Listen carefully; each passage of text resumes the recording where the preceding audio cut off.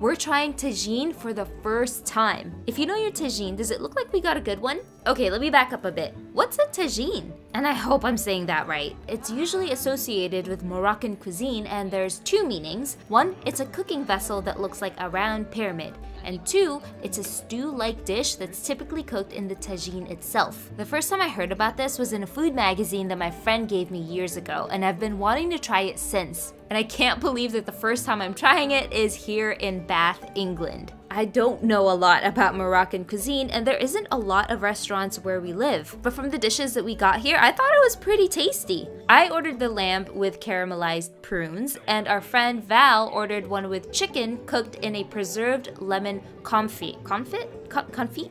Anyway, I didn't grow up eating dishes cooked in these types of spices, so I love savoring the multitude of flavors whenever we get the chance to eat them. We all thought this was pretty tasty. Then again,